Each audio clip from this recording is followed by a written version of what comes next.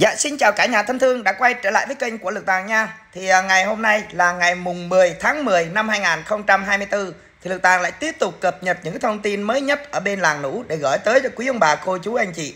Thì như cái thông tin mà hồi trưa Lực Tàng có livestream Thì cũng đã gửi tới cho quý ông bà cô chú anh chị những cái thông tin Là trong ngày mùng 10 là đội ngũ của bên phía anh Lương Béo à, Máy xúc cũng đang hết tốc lực để mà tìm kiếm à, những người à, ở dưới à, làng nũ đó quý ông bà cô chú anh chị thì à, tính đến thời điểm hiện tại bây giờ là đang còn là 7 người à, gồm mà 6 người lớn và một à, trẻ em. Thì sau cái quá trình mà tìm được hai người nó trôi dạt sang bên phía tỉnh Yên Bái á, là nó cách xa làng nũ tầm cỡ gần cả 100 km đó quý ông bà cô chú anh chị.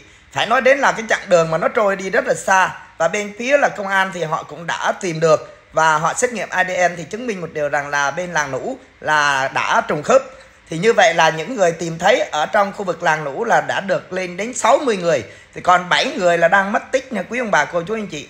Và ngày hôm nay thì à, bên phía anh Lương á, là anh cũng cố tình cố gắng và đưa những cái máy múc cần dài cũng như là hoạt động thêm tất cả các máy múc của mình để uh, lùng sục đào bới tìm kiếm những cái mà uh, thi thể của những người ở trong làng lũ. Ở những cái điểm mà nghi vấn sùi bọt rồi những cái điểm mà thầy bói chỉ. Thì nói chung là làm hết mọi cách để uh, tìm uh, cho bằng được người dân uh, làng nũ đang nằm lạnh lẽo ở dưới đó.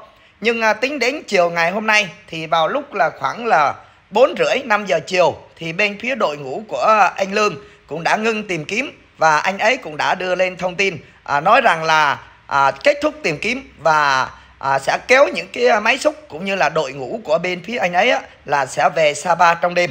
Thì à, trên đường đi thì anh cũng à, được à, bà con làng nũ à, rất là quan tâm rất là tôn trọng và rất là biết ơn. À, cũng như là à, đã khóc rơi những giọt nước mắt khi mà chia tay đội ngũ của anh Lương à, khi mà không còn tìm kiếm ở trong làng nũ nữa. Chắc có lẽ rằng họ khóc cũng vì một phần là họ đau xót cho người thân. Họ không tìm thấy được họ cũng rất là buồn khi mà người thân của mình vẫn nằm lạnh lẽo ở dưới đó. Và một phần nữa là công sức của bên đội ngũ à, bên anh Lương cũng như là bên chính quyền địa phương tìm trong suốt một tháng ròng à, gọi như là cực khổ gian lao mưa gió bão bùng à, và rất là nguy hiểm. Và đào bới tất cả mọi thứ bao nhiêu công sức để này kia. Nhưng à, à, tính đến thời điểm tại bây giờ thì phải nói lời chia tay thì không có cái giây phút nào mà nó xúc động như thể là cái giây phút chia tay. Thì trước đó quý ông bà cô chú anh chị cũng biết rằng là bên phía à, bộ đội chia tay đó thì anh thới nè rồi bà con ở khu vực đó đó ai cũng rơi những giọt nước mắt vì xúc động à, tỏ vẻ tấm lòng là biết ơn à, gửi tới cho những người mà đã đến à, hỗ trợ à, trợ giúp cứu nạn cứu hộ cho bà con của mình. À, thực sự giây phút đó rất là xúc động và chia sẻ lên thì cả nhà cũng có thể thấy à, chúng ta cũng phải rưng rưng những giọt nước mắt luôn. Thì ngày hôm nay á, bên phía đội anh lương đi thì cũng vậy. À, bà con rất là lưu luyến à, cũng à, gửi những cái lời chúc tốt đẹp đến cho bên phía đội ngũ của anh lương và hy vọng một ngày nào đó thì uh, sẽ xuất hiện lại uh, về làng nũ để có những cái thông tin uh, vui những cuộc trò chuyện với nhau và những uh, cuộc uh, thảo luận uh, để mà tốt đẹp hơn trong cuộc sống. Chứ không phải là đến với nhau bằng những cái sự đau khổ à, kìm nén mà phải bộc lộ ra như vậy đó quý ông bà cô chú anh chị. Thì à, thực sự là khi mà nghe anh Lương kể ra những cái câu chuyện mà anh ấy phải chia tay làng nũ và anh ấy buồn như thế này như thế kia thì chúng ta cũng cảm thấy rất là xót lòng. Nhưng à, công việc thì à, cứ phải à, tiến hành. À, ở nhà vẫn còn công việc, còn vợ, còn con. Và tất cả cũng đã dồn hết sức lực rồi, cũng đã tìm đủ mọi mưu kế phương án, ủ mưu rất là nhiều, nhưng không được. Thì anh lương cũng đã nói lời xin lỗi với bà con ở khu vực làng nũ và hẹn một ngày gần nhất sẽ gặp lại. Thì tối nay là bên phía đội ngũ của anh lương là sẽ kéo về bên sapa và chặng đường về trên Sapa thì hết khoảng cả trăm km đó quý ông bà cô chú anh chị. Như vậy là chính thức chiều ngày hôm nay thì đã coi như là kết thúc hành trình à, tìm kiếm những người dân làng nũ. À, và vĩnh viễn còn 7 người à, đang à, chưa tìm thấy. Thì bên phía chính quyền địa phương là họ cũng đã ra thông báo à, và kết thúc tìm kiếm. Rồi sau đó họ cũng đã họp dân à, tức là bà con làng nũ á, là ra là đã có quyết định à, gọi như là chung à, chung lòng dân đó à, họ cũng đã nói rằng là sẽ ngưng tìm kiếm luôn. À, tại vì cũng biết rằng à, đau khổ xót xa lạnh lẽo nhưng à, mà cũng không thể có thể có phép màu mà để tìm kiếm một cái dễ dàng. Thì trong thời gian tiếp theo thì bên chính quyền địa phương họ cũng không ngăn cản là cái vấn đề mà tìm kiếm đâu nha cả nhà. Tức là họ vẫn à, để cho người dân à, ví dụ như ai có nằm à, thấy giấc mộng à, về báo mộng chẳng hạn hoặc là à, đi à, lùng quanh khu vực đó khảo sát tìm kiếm.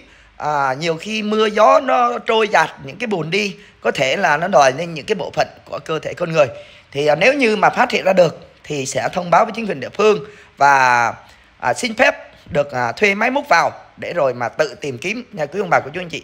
Tức là bên phía người dân sẽ được tự tìm kiếm chứ à, không cần phải à, đến là bên phía chính quyền vô tìm nữa và bên phía chính quyền sẽ sát cánh cùng đồng hành với lại bà con ở trong làng nũ để tìm những cái người mà có thể là phát hiện ra được nha. Quý ông bà cô chú anh chị.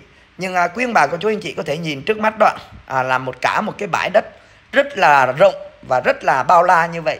Nó rơi vào tầm cỡ vài km như vậy thì có lẽ rằng là sẽ rất là khó. Và vùi vùi lấp thì nó sâu đến tầm cỡ 5 7 mét là trung bình. Còn có nơi sâu đến cả 20 mét thì rất khó để mà có thể à, tìm thấy nha quý ông bà của chú anh chị. Và đến ngày hôm nay thì nó cũng đã rơi vào tầm cỡ một tháng trời rồi. Thì chắc có lẽ rằng nó không còn nguyên vẹn nữa. Và cũng chưa nói đến là không biết có nằm ở đó hay không, ở dưới đây hay không, hay là đã trôi ra sông à, và cũng đã mục rửa và tan tan nát hết rồi nha quý ông bà của chú anh chị thì coi như chúng ta đã khẳng định một điều rằng là bảy người đã mất tích và không thể à, rất còn cái cái tia hy vọng còn rất là nhỏ để mà có thể tìm thấy họ. Thì như vậy là khu vực này đã trở thành một cái mồ chôn tập thể của ờ, bảy người làng nũ. Chúng ta cứ nghĩ như vậy đi ạ. Và sau này ở khu vực này nè là họ sẽ xây một cái ờ, miếu thờ để mà à, cúng cho những cái vong hồn của bà con làng nũ. Tức là à, gọi như là tập thể đó cả nhà. À, và bên phía bà con làng nũ sau cái quá trình tìm kiếm kết thúc thì à, sẽ nhờ thầy bà đến để cúng bái à, rước vong rồi làm tổ chức mai táng à, đại tang theo cái phong tục tập quán của người Tày ở khu vực à, ở trên đây nha quý ông bà của chú anh chị. À, thì lúc đó bắt đầu mới làm đám tang đó quý ông bà của chú anh chị. Thì hiện tại bây giờ là đội ngũ tìm kiếm đã về và à, sẽ không ở đó nữa thì bên bà con làng nũ sẽ tiến hành là làm lễ đại tang. Đây là một cái thông tin mà chúng ta nghĩ đến. Ở cái từ đại tang thì chúng ta cũng cảm thấy rất là sốt rồi đúng không ạ? Nhưng mà bây giờ biết làm sao được. Cái sự nổi giận à, của thiên nhiên thì nó diễn ra bất ngờ và mẹ thiên nhiên nổi giận thì mẹ đã cướp đi như vậy. Thì nói thật ra là không ai có thể cản nổi. Với cái tốc độ nó quá nhanh à, nó làm cho một cái ngôi làng à, đẹp như trong tranh vẽ phải à, tan tành sáp pháo và bằng phẳng như một cái sân bay như thế này. À, toàn đất đá bùn bùn đất nổ tung lên trời sau đó ập xuống. À, dòng dòng lũ thì chảy từ trên đỉnh đồi xuống còn à, đất bùn thì được tung lên trời và ập xuống thì không thể thoát được. Nha quý ông bà của chú anh chị nghĩ lại cái giây phút mà những người đang sống trong cái cảnh bình yên đang có nhịp thở của trái tim mà bị đất nó vùi lấp rồi sau đó à, không còn thở được nữa thì quý ông bà của chú anh chị thấy rất là đau rất là sốt đúng không ạ?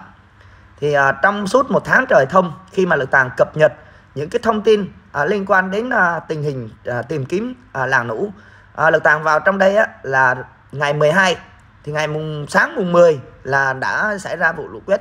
Thì anh em cũng đã cố gắng tiếp cận là đúng ngày 12 là anh em cũng đã vào được đến cái khu vực hiện trường và quay được những cái hình ảnh à, xác thực thực tế để cho cả nhà nắm bắt và lưu lại những cái ký ức những cái kỷ niệm. Nó cũng rất là là là, là lớn nha quý ông bà cô chú anh chị.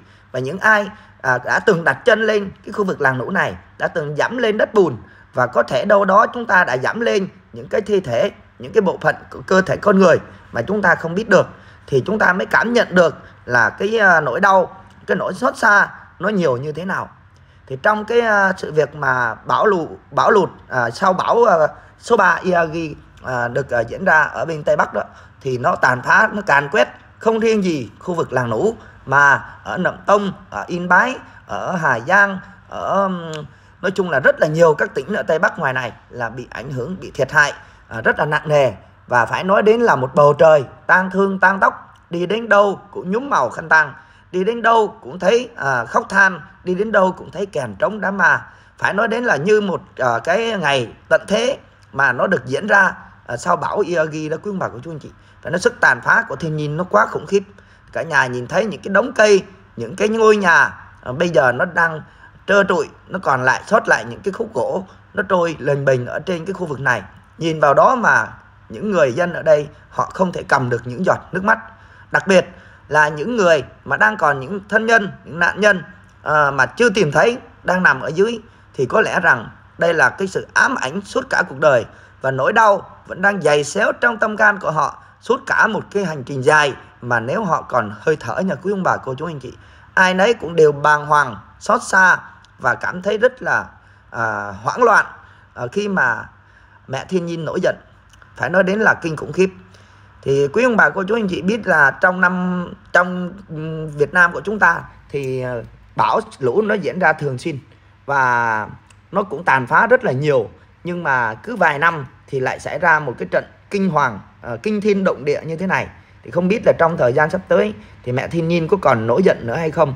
Nhưng với những cái tình trạng như thế này thì uh, cũng mong là tất cả là sẽ có những cái phương án tối ưu khi mà có cách phòng tránh khi mà biết bão vô là được uh, cảnh cảnh báo thì chúng ta phải nên sơ tán và chúng ta không nên ý y để rồi uh, xảy ra những cái trường hợp đáng tiếc đau lòng như thế này. Cả nhà nhìn thấy không ạ? Đang còn sót lại mấy cái ngôi nhà mà chúng ta chắc có lẽ rằng là những ngôi nhà này lưu vào ký ức của lực tàng. Một bãi rộng mênh mông như thế này đây. Cả nhà nhìn thấy không ạ? Không thể nào mà tưởng tượng nổi cái sức tàn phá công phá của một cái trận lũ quét uh, lũ đất đá như thế này đó. Ở trên đỉnh nó trào về mà dài dần dặc như vậy đó cả nhà.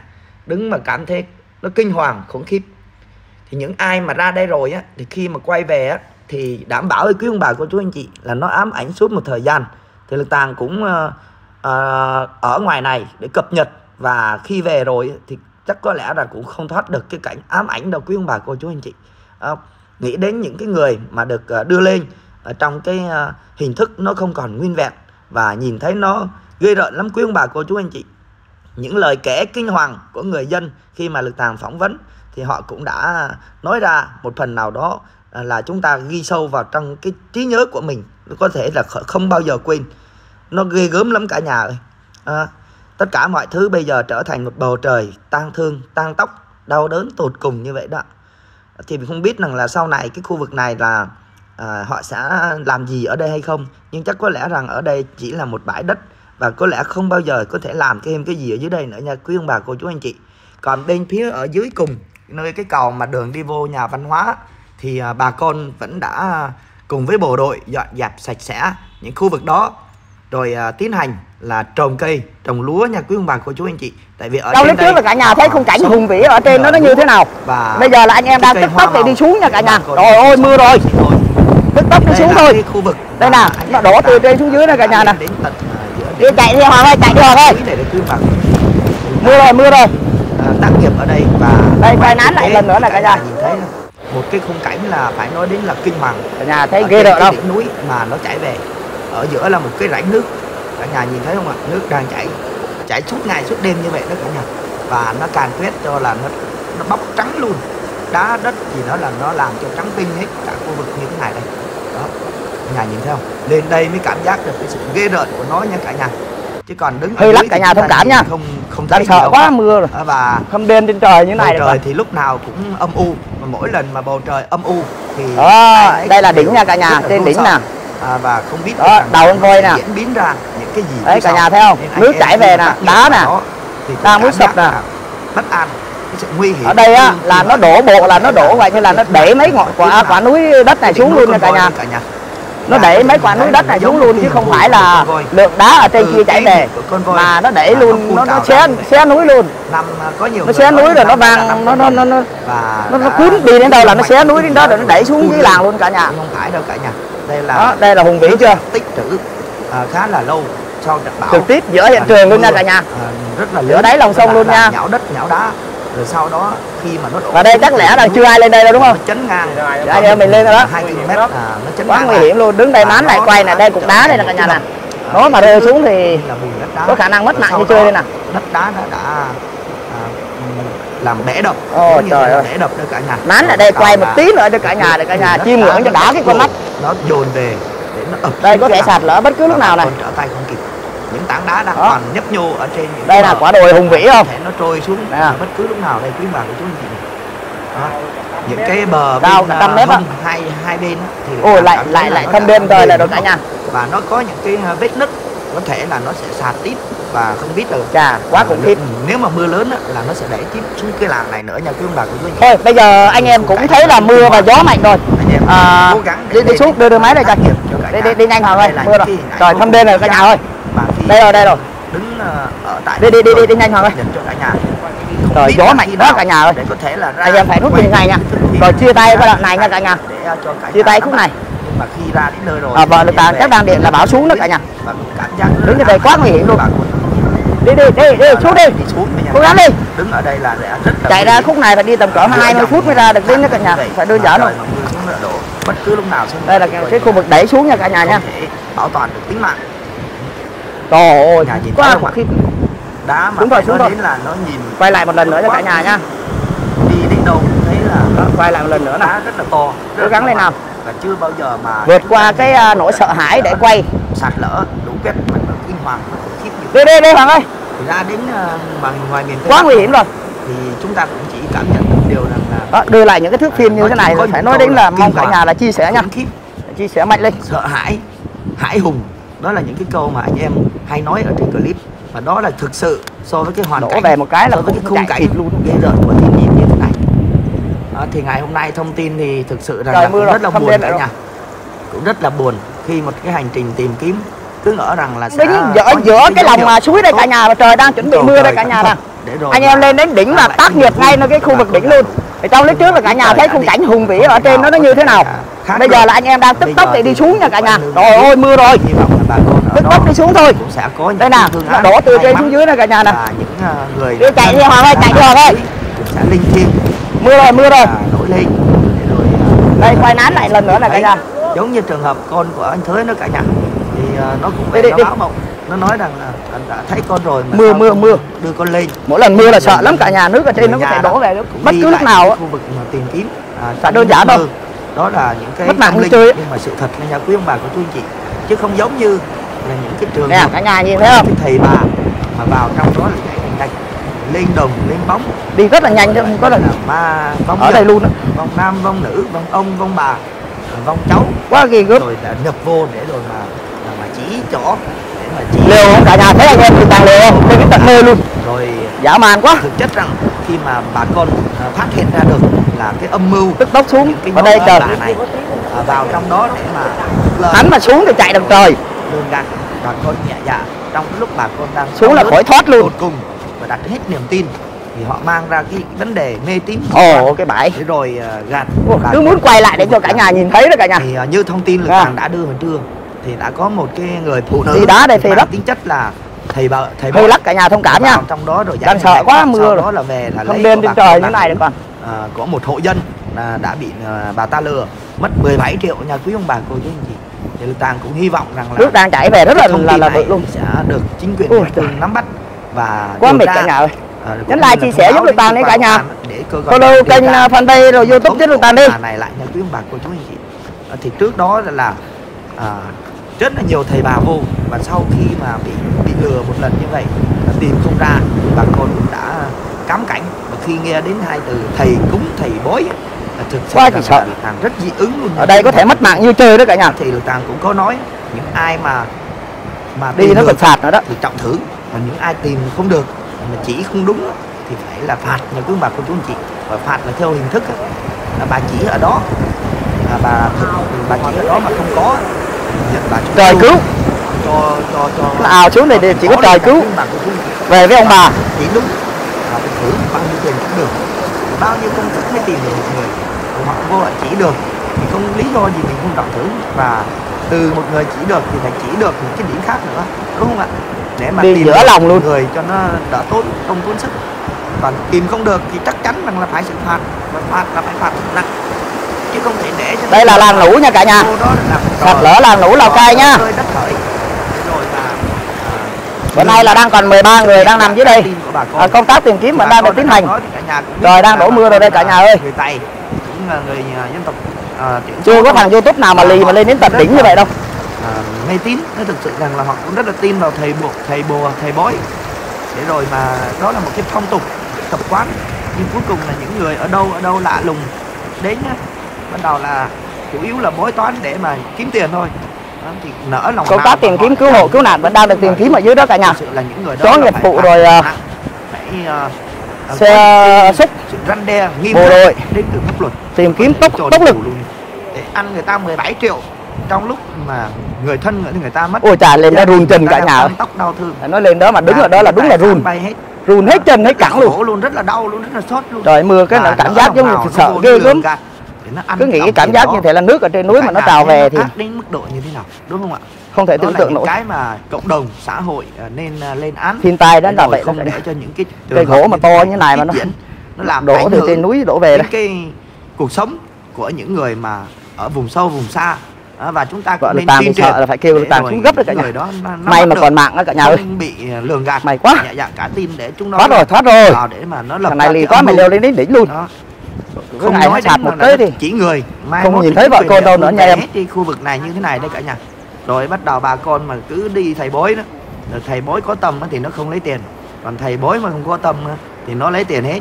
Nó dụ hết nha cả nhà. Mà là tàng nghĩ là cái đống đất như thế này là mấy múc chưa ra múc được luôn nha cả nhà nói là thầy bói là bói xạo hết đó cả nhà nha. Tàng không tin đây chắc không có xác. tàng không bao giờ tin. Có chăng nếu như mà nó có về báo mộng những cái vấn đề tâm linh thì nó báo cho người nhà thì lúc đó thì chúng ta có thể là tin tưởng và đặt cái hy vọng. Đi Còn này lên đây. bà ở đâu ở đâu mà mơ với mộng với lại nhập không nên đi giữa dòng nữa. Ừ, đi lên thì, thôi cả à, nhà. anh lương béo á đi giữa dòng là nguy hiểm lắm. Nếu như mà mà về đây nước nó trong lại tí. ở trên nó đổ nước đỏ âu đi mà dưới đây nó trong. Không đúng. Là anh chính thức là anh chân cái đã. anh múc rồi anh dùng đầu anh nhấn luôn. Ôi có ai mà liều mà lên đến đó cả nhà? cũng vậy. Nói nhỏ mưa thâm bên lại trên đó đứng thì mưa thâm bên múc lại cho em một cái mà dưới đây thì trắng nha cả nhà. đang có ông thầy đó. Để rồi em thoát rồi thoát rồi. đến đây là, thoát rồi. còn một đi cái. nữa anh lương cũng rất là bất ngờ với câu nói đó và cái câu nói đó làm anh lương anh mình không không không liều nha cả nhà. Cứ bình tĩnh. Toàn cũng rất là khoái luôn nha cả nhà. Ô đó. Thực sự là phải mạnh tay như vậy họ mới sợ. Mới rửa được cái chân xong lại sập lại dơ mất rồi. cái sự mạnh mẽ đó thì không thấy xuất hiện thầy bà nào nữa nha quý bà anh chị. Họ đến là họ làm là trắng trợn. Lúc mà bộ đội cơ quan đang chức sợ. năng họ đang tìm nó. Đứng ở dưới cứ quay quay zoom zoom nhìn không rõ được lên trên nó nhìn với cảm giác nó ớt lạnh cả nhà. nghỉ trưa đi bắt đầu là vô là dãy đành đạch giống như thế là là, là người điên người khùng. Bữa nay đi là Rồi nắng nó cũng uống cả rượu nữa. sập này. Say vào đó Nếu rồi bắt nó đầu là là phát cái thì- chuyện. Mà cuối cùng thì nó cũng đã lừa được một biết người. sao mà nói cả hy vọng là bên phía chính quyền là sẽ có những cái phương án là túm cổ cái bà ta. Để rồi mà xử lý nha cả nhà. Dưới kia vẫn đang tìm kiếm là mà chưa tìm thấy cho nên hôm nay youtube vẫn đang quay trên này nè. à, truyền tải cho Chỉ có nhân lực tàng lì mới lên trên kia à, thôi. hình ảnh cũ. Đây họ đang đang nhang để cầu anh để tìm quan tâm thì theo dõi. nhân nhà mình và lực tàng cũng sẽ cố gắng cập nhật những cái thông tin tiếp theo khi mà bên phía làng nổi có thông tin mong gì. là tìm thấy dù là biết rằng là đội ngũ kéo về rồi à, không à, tìm kiếm nữa nhưng à, có lẽ rằng vẫn còn những cái tin tức hay và hấp hết chân nó cả trong làng xa phê để rồi à, lực tàng nếu cập nhật được thì lực tàng sẽ đá truyền tải Mười cho mấy- cả nhà ở trên à, kênh để cho cả nhà nắm bắt ôi trình vào trong nó ướt lắm thì lực tàng cũng thông báo như trên vậy đó là là kết thúc trời nó thông bên trên kìa. quá trình Mây mù. trời. Anh Sợ nó đổ dám làng lên. nũ làng nũ cũng chia tay anh lương và rất là buồn à, chia tay à, nói lời chia tay trong nước mắt đó cả nhà. Ui. bao nhiêu kỷ niệm Đây rồi, thấy vợ đây rồi, tưởng đâu không thấy vợ nữa rồi chứ. gian lao vất vả. Trời ơi dưới đây không à, mưa không âm u mà trên đó nó âm u kinh khủng luôn. thì à, cũng mong là bà trên đó nó âm u đó. cũng như là bà con ở miền Ờ, tây bắc đó. là hết sức là à, Nè, bầu trời trên đó vẫn đang âm u à, tối đêm nỗi đây cả nhà này. mất mát to lớn. Để rồi à, trở lại cuộc sống bình thường. Nước còn không? bên phía nhà nước thì họ cũng đang tiến hành Đây, xây dựng cái căn nhà và bàn giao trước ngày 31 tháng à, 12 Họ, tức là ờ, vẫn chưa tìm thấy đó, chưa tìm thấy thì có mấy nơi YouTube ở đây đã ở, quay rồi. à, và sinh hoạt Anh à, để chạy ở một cái nơi Chạy hả? cực kỳ an toàn. Thì Sợ như chết vậy chạy hả? cũng yên tâm một phần nào đó Nước đây đúng không? mở ra uống đây là những cái hình ảnh giờ thấy nước dọc đường người ta dục là lượm lấy uống toàn cảnh cái khu vực làng nũ. Và là lưu lại những cái ký ức này. Ôi à, có lẽ rằng là sẽ không bao giờ phai đâu. Quý ông bà cô chú anh chị. Và hành trình anh em lực tàng đi cũng à, được sự ủng hộ À. của quý ông bà cô chú anh chị. Cái khung cảnh là phải nói tinh khủng khiếp. là truyền tải cập nhật thông tin. Sau đó là có những cái sự hỗ trợ. Hoàng lên đến cục đá đó là ngồi luôn. đến từ tất cả các quý mạnh thường quân ở trên kênh. Thì anh em lực tàng cũng say, xin thay mặt làng nũ xin thay mặt tây bắc. Cảm ơn quý ông bà cô chú anh chị rất là nhiều. anh này sợ quá chạy à? cũng à, à, không biết nói gì hơn để Biết chỉ lời thì cảm ơn cho quý bà chú anh chị. Và cầu mong cho là bên phía những à, người mà thiệt hại nặng nề Mình đi làm à, việc thiện, trời Phật cũng phù hộ cả khó khăn và sẽ có cuộc sống trở lại bình thường nha quý ông bà cô chú anh chị thì đây là thông tin Lúc nãy anh thấy cái gì mà anh sợ vậy anh? 10 tháng 10 năm Ồ, 2024. chạy. Chính đồ kìa. Ờ, chạy hả? Bảo toàn tính mạng ha. Quý ông bà cô chú Ừ, anh chị quay theo dõi, nhấn like, chia sẻ và đăng ký kênh để ủng hộ À, là mình anh nha. chạy. Đến đây clip của Lực Tàng cũng xin phép được tạm dừng. Cảm ơn, xin chào và hẹn gặp lại. Kỳ lắm. Kỳ lắm hả? Tôi, tôi,